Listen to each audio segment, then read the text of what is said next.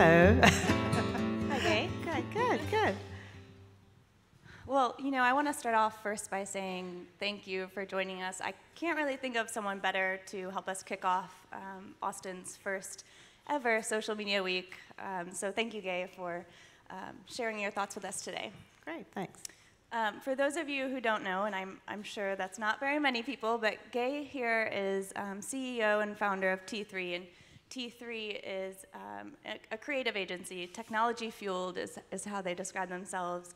Um, and we'll get to learn a little bit more about what exactly that means and some of um, Gay's experience over the years uh, leading customers, you know, based on data and explorations into social media. Um, I would love to go ahead and kick off and, you know, ask, I think no better question to start this discussion. Um, you know, how have you seen social media uh, influence advertising and um, influence what you've done for your customers over the years? Uh, T3 has always been kind of what's next, and we I would say, pretty much push our clients to look over the edge and see how we can take in any new medium, no matter what it is, and use it toward the good of building their brand. Uh, we actually have a study that we are in the middle of now, an ongoing study called the Useful Brand, and we like to take our brands to a place where the consumer or that end buyer really is engaged. So, what better than social media? Um, this was something that we started dipping our toe into way back. I'm going to tell you, almost 15 years ago, before anyone was doing anything, maybe 14, 13, 12. And I've got some pretty funny stories just to take you down memory lane if you'll indulge me in a couple of those.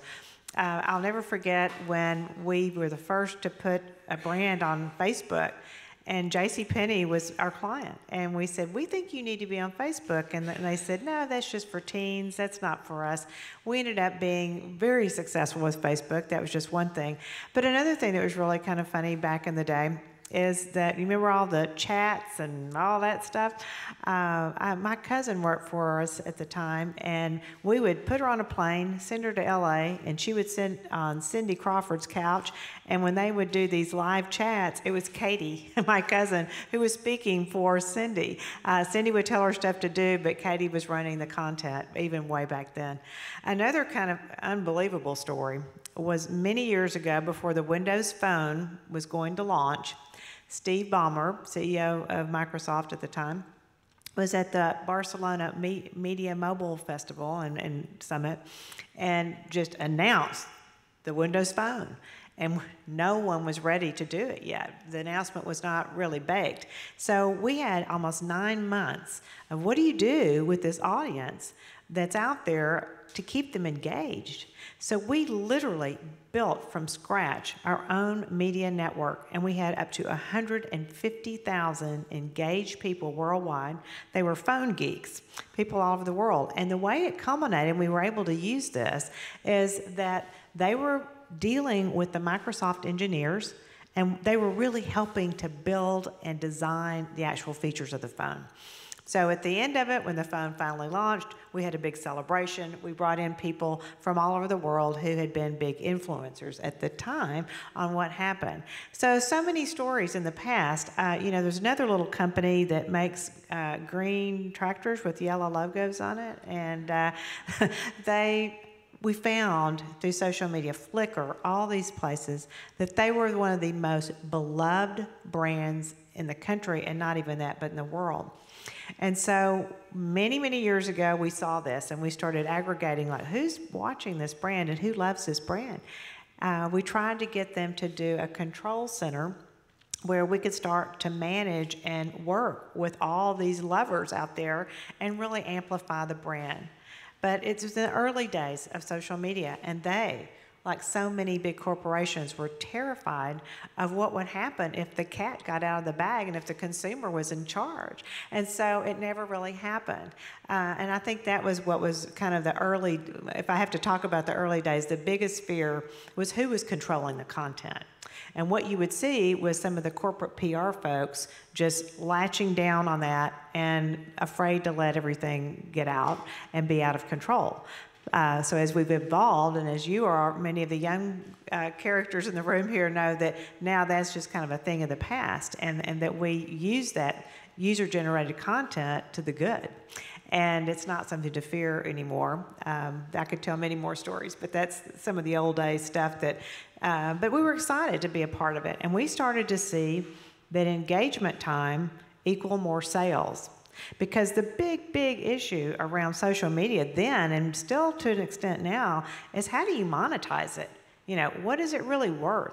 What is engagement time? Uh, what is my brand loyalty just because I've spent more time with you? And we found, especially again with J.C. Penney on a holiday site, the more that the client or the customer became engaged and was doing these little social projects kind of outside of the sitelet, um, they bought more stuff. And so those were exciting times. I've got a bunch of stories where we monetized it, but that was the big deal. Like, you know, how do we make money with this and what is it worth versus just doing traditional media?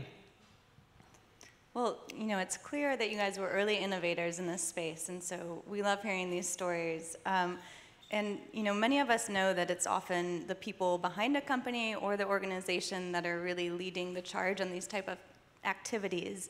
Um, can you talk to us a little bit about um, the idea of being an entrepreneur and, and, you know, by design, hiring the right types of people to help push your company forward? All right. Um, one funny little uh, thing I need to tell you before I talk about that is that we looked at a Microsoft study not too long ago, a recent one, and our attention span has gone down to 8.25 seconds uh, since the year 2000, and it was up to what well, I think about where were we? Oh, 12 seconds in, in 2000, and now we're at 8.25. I found that a goldfish has a nine second attention span, and my husband's always described me as having the attention span of a tsetse fly. So, what this says is you've got to be bold, direct, and you and brands have got to grab while they can, or you're gone. And uh, I think that's one of the things at T3 that we're always really searching for. And since I'm an entrepreneur, I love that spirit inside of a company. And I've had, I started T3 almost 28 years ago. We'll be 28 years old on March 1st. Uh, which is unbelievable to me how many payrolls I've made and all the things through the years. But um, it's it's a very exciting company uh, because we do like to look around the corner at what's next, and we're not afraid to dive into it. And we find people who are bold and curious and interested, and not afraid to make a mistake here and there because we're trying something new. I, I cannot tell you how many times we've had a project flying around or we prototype something that never been done before.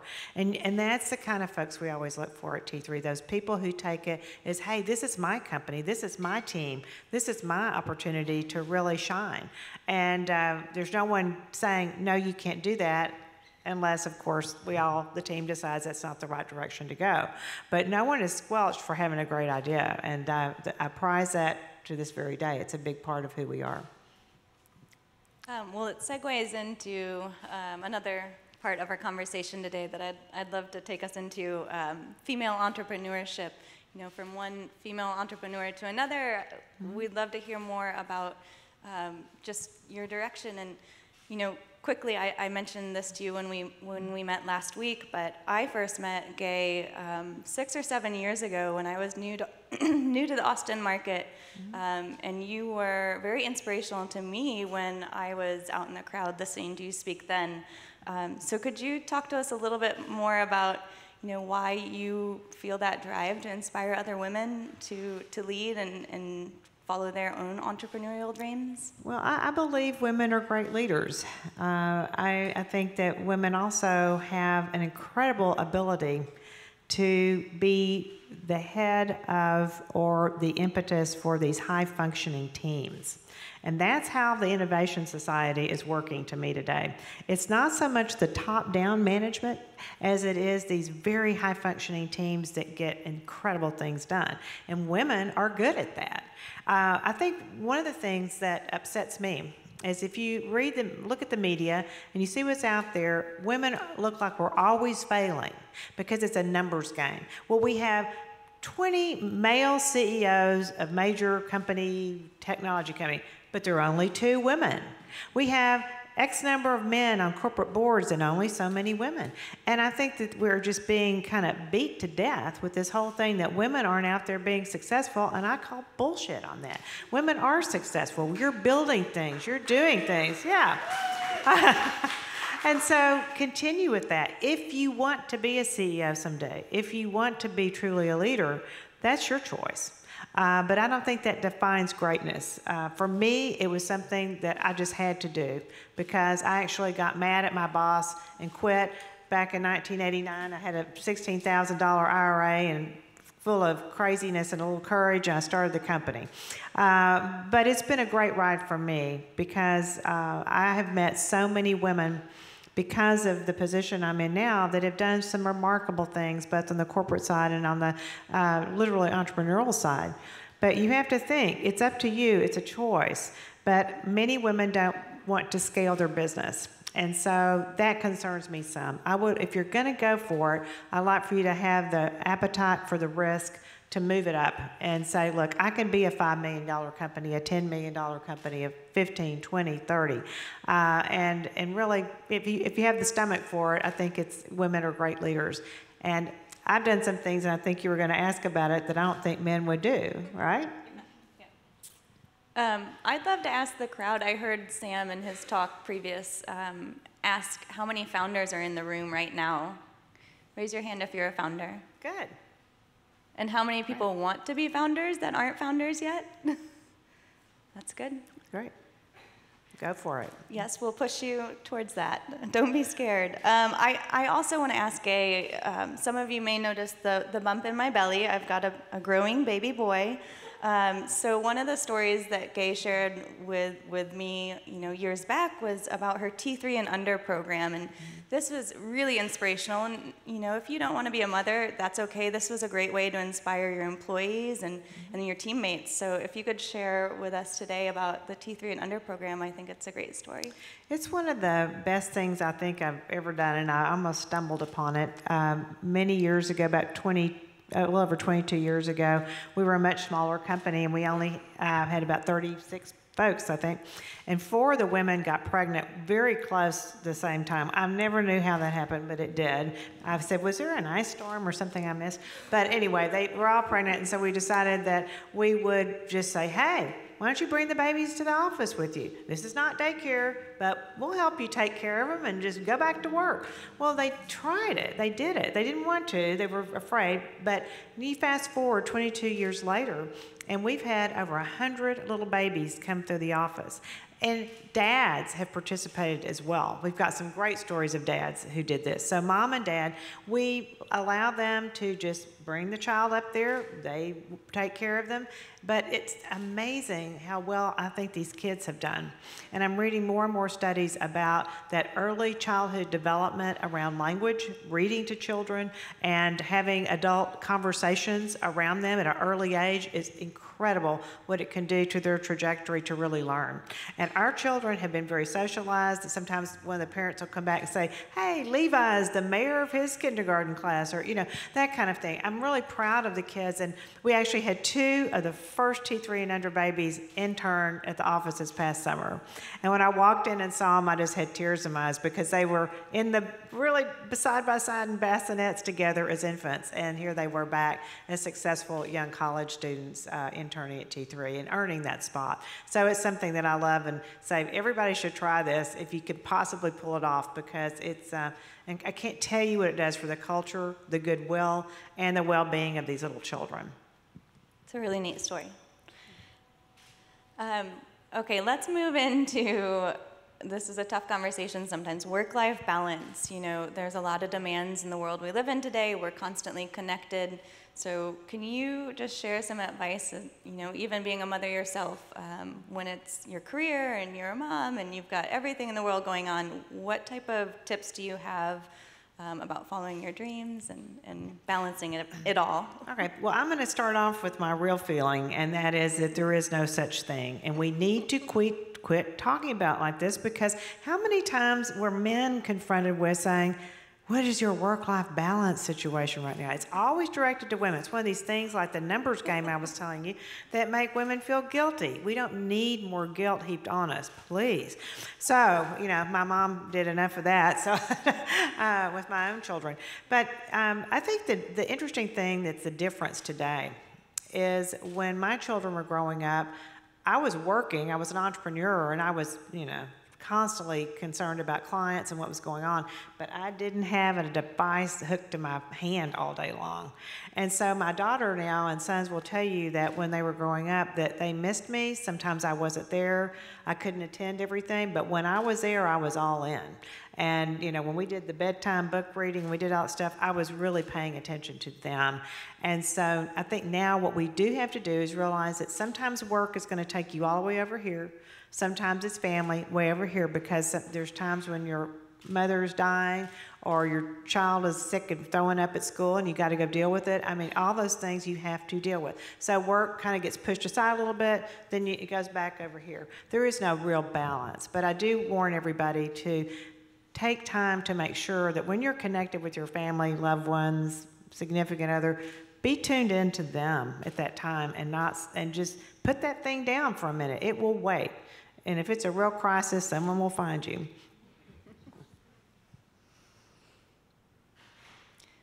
So next, I'd like to ask um, if you could give us recommendations, and you know, from your own examples, how do people go ahead and establish a brand voice for themselves, and especially an identity for themselves in this world of social media? Well, it's certainly changed. You know, I um, grew up in a little town in East Texas, and if I wasn't in the local newspaper once a week, my mother thought I had failed. So I guess that was the social media of the day. uh, you know, it, it, we we built. I've built a brand around myself uh, because I'm an entrepreneur. It's very important because you become the symbol for the brand. The entire brand, like T3, surrounds me with their smarts and their ideas and what they do. Uh, T3 stands for the think tank, by the way, T3, the think tank.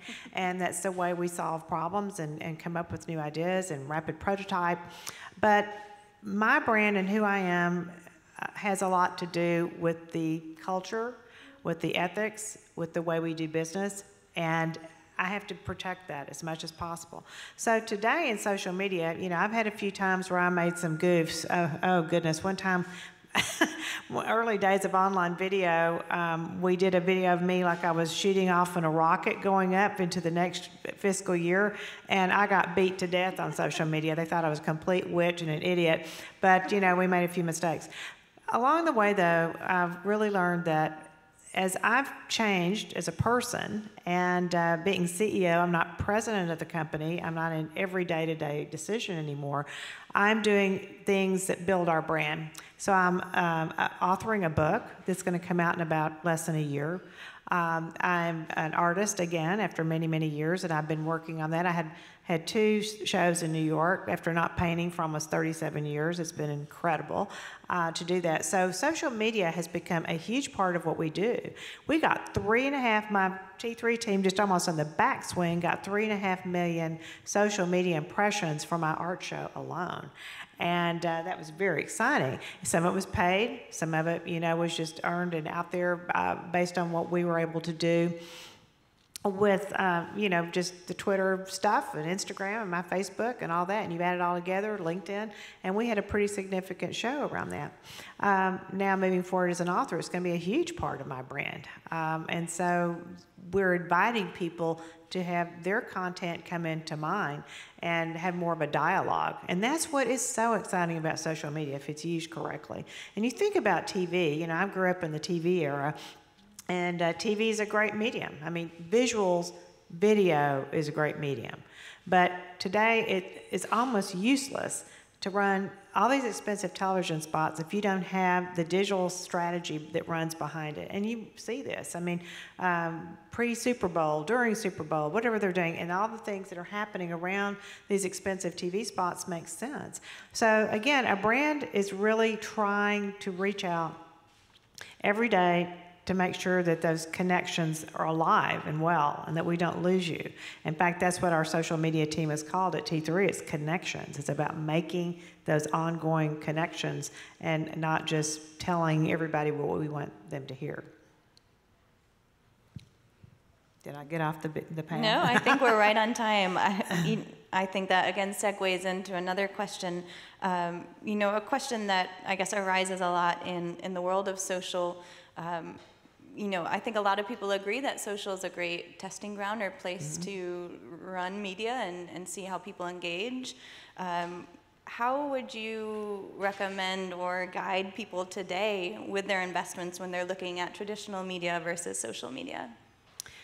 Um, I think the way I've always believed about this, and it's um, everything that comes our way that's a new medium is worth exploring if it has traction, if it is building the brand, if it is making, like I said, our brands, the ones we work with, more useful. So it's not just funny and telling it, it's sometimes it's really doing things that's going to make your life better and easier. Um, I, I, think that um, all media is valid. It has a place and time, and we've said this for years. But today, uh, and as we look forward, there's going to be, I think, even more of a groundswell of how social media is delivered. And we all know this. I'm sure, how many in this room would consider yourself an influencer? Couple. Uh, my daughter is going down this path, and I've learned a lot more about it. I mean, we've certainly worked with some pretty interesting people uh, through T3 where we see they're out there having a voice and talking about some of the brands that we support and how we can engage them to be part of the media solution. Uh, my daughter is working for two PR firms in New York and a, a magazine in London where she's out there putting out content for that and they pay her. So if I thought my daughter would have a job doing that 10 years ago, you could have knocked me over with a feather. No way, you know. But she's she's been beginning to really build this and a following and it's I think it's the future. We love user generated content. It's something that I'll, if you'll let me regress for one second, I'll tell you a story years and years ago. Uh, we were working for Marriott hotels, all, all the brands. And one of their brands happens to be Renaissance Hotels. Uh, we decided to put a contest online uh, on their site where you, the user out there, could post photographs of your very favorite vacation, your very favorite place you went or your vacation. We were placing, now going back to how these media can work together, we were placing a good bit of print advertising in Condé Nast publications. So we were able to negotiate a free trip to Paris through Condé Nast because of the print and some online that we were placing, and we put it out there. No one had any idea what kind of response we would get. It was overwhelming. And this is before the days of the technology that allows us to aggregate this and filter this stuff. So it was a hand picked every photo, every piece of content that came in had to be curated. And we had to make sure that it wasn't obscene or was not off brand, and all that stuff. But we had thousands of people participate. And of course, the trip was given out to uh, a family, and it was just great. But boy, the light bulb went on me, went on for me years ago that people want to share stuff and they're not afraid to share their own intimate, well, not intimate, but you know, their own personal experience. So I, just think it's incredible, you know, how how this has begun to evolve more and more, and you're going to see, I think, uh, user-generated content go through the roof. Uh, I'm on a board of directors of a company called Monotype, we bought a company called Olapic, and that's what they're all about. It's a company based in New York. I don't know if anyone's heard of them, but they are doing the things like on West Elm, where if you put in your dog sitting on the couch that you bought and all that cool stuff, then they turn them into little videos and they do stuff. And they, it's so much of what they're doing to build that brand is, is uh, user UGC. Um, so to us, that's the future. How to get employees to be more engaged in UGC for like your company. So if the big companies, how do they participate? Uh, they're out there commingling with people and how do you get some of the goodness of that, you know, into your social media stream. Well, I think I'm going to ask one more question and then I'll open it up for um, questions from the crowd. Um, it sounds like you are pretty much surrounded by this new way of communicating um, with your daughter and um, children being involved with the business um, and leading T3. Is are there any other changes specifically with influencer marketing, or I guess how has it evolved, or what should we look for to the future with this with this marketing? Well, you think about it, and all of a sudden, you know, we, we, used to talk about how there were just a few different mediums out there. And basically, when I started in this industry, it was pretty easy. Uh, you know, you had radio, television, print, and that was divided between newspaper and magazines, uh, direct mail, uh, outdoor. Basically, that was your bag of tricks, right? Then we got into, well, all things internet interactive, and we had the online advertising, and you had all the other pieces. And I'll never forget a day, uh, many, many years ago, we were sitting in the office, and one guy stood up and drew a chart. He put the internet in the middle, and all these other mediums were circling around, and everybody went, Oh, really? That's not going to go that way. And look what's happened. So, you know, I, I, here we go, moving forward with all the mediums, and then you bring in the influencers, then more UGC, and every brand's dealing with that. So what it does is splinters the media opportunities into thousands of points of light, basically. And you've got to find these people, and sometimes that's the challenge. But where you put your money is going to be more and more complicated, I believe. Um, because of the, the people out there who are really building it. And, and we all like that because supposedly, and now that becomes a bit disingenuous like native advertising, um, these people are a little more genuine than just me pushing content. Still, yes, they're paid, and that's going to be out there. Uh, we like a genuine, authentic voice. So I would trust them, though, just about as much as I would a native ad that shows up someplace, which scares me sometimes, and also just what's the push out uh, in other mediums. So, so I think it's going to get more and more complicated. There's too many people out there that can, and, and then where do, how do you pick them and how, who's really moving the needle? So the analytics you put behind that is now also what's so incredible, which we had very little of, you know, many years ago. Well, thank you. Um, you can also send through questions with SMWI Wonder hashtag. Um, but I'd love to go ahead and ask the crowd um, if you have some questions for Gay. Come on, guys. There's one. what recommendations would you give women that wanted to find an entrepreneurial opportunity in a company? I, I assume it doesn't arrive in your lap, that you come No. up with that idea, or you somehow get to a certain level that you're given those considerations? So, just to repeat the question, we are looking for advice for women that want to take on an entrepreneurial role within an organization. Well, first of all, you have to see if the company has an appetite for that kind of thinking. And you really need to evaluate and think about how decisions are made, uh, how teams are treated, and, and all of that. I think high functioning teams allow for that. Um, but you can also start to pull little tricks yourself. You know, uh, I always did kind of these entrepreneurial things. I worked for other people for 10 years before I started my own company. And I would come up with initiatives and things that I could kind of run with. And if I could get uh, the top leadership to buy in and that I was dedicated to it, I got to do a lot of interesting things along the way that I think prepared me later to be an entrepreneur. So, um, you know, you, you kind of make up this stuff and you say, well, what would, what would be really good for the company? And kind of say, hey, I'll raise my hand and I'll go and try to fix that. Uh, or I'll do that. I always say what your best job is, is what's not on your job description. Gotta think outside of it, and that's how entrepreneurs think, and that's how entrepreneurial organizations work. It's great advice. Back here? How do you see fake news sites that are generating all this uh, ad revenue? Is that leading anything over the edge, or is that Okay, I think the question was what is the impact of fake news sites on today's media? Is that? Yeah. Okay.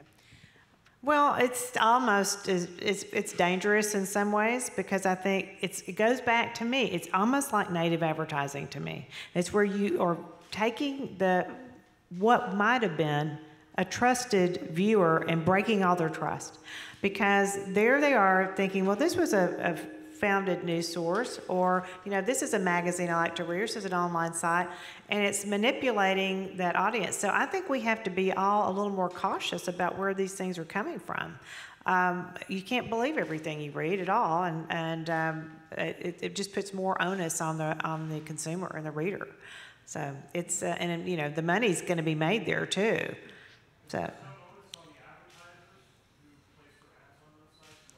Yeah, I think it's really incumbent on advertisers to find out who's behind this and what are they doing to validate their information. And because if I put an ad in one of these deals, which I hope I haven't, where I'm putting a, one of our brands at risk out there of being associated with something that's completely false, and then the reader loses trust, and once I break the trust, um, you know, it's hard to get you back. So we have to be very diligent about it. Um, again, I don't like native advertising much either, but that's become the way of the world. So, I think we have a question back here. With stories like the Uber female employee coming to light, how do we as women support each other while staying competitive? Well, my opinion on women staying together, if you want to talk about women, is that when you give a hand to somebody else and you help lift up somebody, it comes back to you in just spades. I, I believe, you know, I've laughed all my life because uh, I did work for some pretty tough women along the way, and I have some scars on the top of my hands, and they're from the stiletto heels that were uh, going in as I was climbing up the ladder.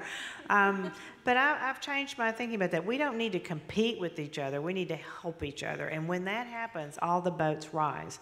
There's enough good work for everybody out there, uh, and for smart people and great people my opinion has always been since I kind of hit the curve and started moving into kind of a, a, larger role and meeting so many effective, smart women, is they've all, so many have helped me. I've, I try to help them. And I spend a lot of my time personally going out and speaking to high school, university students, uh, men and women, but mainly a lot of women, uh, as well as, you know, women in organizations to say, look, I, I want you to win. We need you. And especially, I wrote an article for Fortune recently. Uh, it was a STEM article. And it says, Why should women be in STEM? And the bottom line thesis of the article is that women have a great ability to be empathetic, to think of how things can be useful and caring and working. And if we're not sitting at the table, when all these decisions are being made and when new products and services are coming around, we may lose that side of the equation. So I've been a big promoter lately of saying, women, just get in there, hang in there. And, you know, if you don't like coding, that's okay. Get someone else to help you, but don't lose that seat at the table. So. Yeah. Hi, thanks again for coming. Um, you talk about having a seat at the table. So what would you give advice to aspiring women leaders that are constantly playing in the guy's game, if you will, at their own company? All right. Asking for advice uh, for female leaders who are constantly playing in a guy's game. Um, I actually was asked the other day, no, asked, I was in a meeting and he said, Well, I think you're still dealing with a man's world. And I couldn't believe it. But um, yeah, I'd love to hear your perspective there. I kind of wanted to be like, Have you opened up your eyes recently? I mean, I, you know, it's, it's a very progressive world we're in. So, um, It yeah, is, what are your and, and, and I think for both men and women, it's how are we going to work together more effectively on what I'm calling these innovative, high-performing teams. Um, we all have our strengths and weaknesses. There's nobody who's got the corner on the truth. So bring your best to, to that table. Ask for more. Don't be discouraged. And I've been the only woman in the room so many times I cannot tell you. And here's a little trick. So I'm this little feisty Texan, and um, sometimes I go in and I, I can be a little disarming because they don't think that I'm really going to come down and put the kibosh on stuff. But you know, I kind of like a steel magnolia come in, and it's worked really well. um, but I've also had to be, you know, keep up with everything and be relevant, be very smart. I, you know, I've worked harder than probably a lot of guys do at that just because it's, it's the only way to really make sure that you're not scoffed off is not important. But you don't want to feel that way. You know, I've always gone in and thought, I have every reason to be here. And even if I was a little intimidated or a little afraid, I'll get over it because once you've done it a few times, you'll feel like, yeah, I need to be there. I can, I have something to contribute. But you can't go to these meetings or be in these rooms and not say anything. And I'm really tired of this whole man interruption thing going on out there and these microaggressions. Good Lord. I mean, you know, get over it. Don't let them interrupt you. I, you know, I've interrupted guys before if I've really feel passionate about something. Um, so you got to be, you know, watch that behavior in the room and not be the wounded one, but say, hell yeah, I'm supposed to be in this room and I have something to say. Um, so you got to got to play it like that. I hope that's helpful. It is. sure. How do aspiring women leaders get more mentorship opportunities? That's something that I personally came across as a challenging, you know, way. Like, how do you ask for it? How do you get them to come to you? How do you get a mentor or mentors? Yep. All right. Well, and things like this. You show up places, you meet people, you try to meet people or find people that inspire you. And you know, you never know. If you position it the right way, someone may take you on to raise for a little while. Uh, when you do that, though, they have to feel like they're getting something back. I have all kinds of people that I quietly mentor here and there, and but they always give me things. This is one you won't believe. So I have this woman I met. She was waiting. Uh, she was waiting tables at a, a restaurant I go to in New York, and she said some funny stuff. And I said, You're really clever. And she says, Yeah, I'm studying to be a comedian. I'm in a really good comedy school here. And uh, she said, But I need to have courage to do this and that. And I said, Look, I'll meet you once a quarter and we talk about stuff. But she always makes me laugh, and she has good advice for me. So it's kind of like there, has got to be a, a symbiotic relationships there of somehow because busy people who are really busy that you want them to mentor you, they're, they're getting pulled a lot of different directions. And you want even if it's a small bit of their time, the best of their time. Uh, it's hard. You've got to just keep after it and don't be discouraged. If people say no, you're five people closer to someone who's going to say yes. We've got time for maybe one or two more. Behind me? We would love some advice on how should small agencies balance time spent on their growth versus time spent on clientele content. Okay, well, I think content there is interesting. Now, you're talking about just the growth of your agency or your business, correct? Um, you have to be growing all the time. But one thing that's been fortunate for me is that I'm not owned by anybody. We're independent. And so I don't have a blowtorch to my butt every month saying that I've got to get this much margin on top. We can grow at a pace that we feel is good. Uh, I've always felt that if you grow too fast, the wheels are going to fall off. You've got to take care of the people that are there for you, that have hired you, and you don't want to take your eye off them. As Darrell Royal used to say, you got to dance with the one who brung you.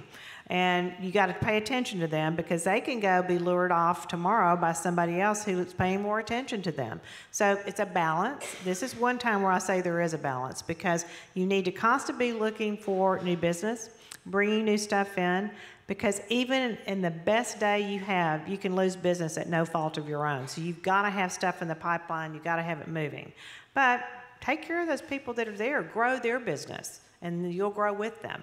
And that's been a big part of what we've done is just we get in, we do a good job year by year, and you grow the business, and uh, it's a great new business tool, really, is your own clients, right? Anyone else? Well, thank you, Gay. We really appreciate your time and advice, and again, being an inspiration for all of us here in Austin and kicking off our first ever social media week. Well, thank you. And for the guys out there, I really love working with men. I don't want to come across.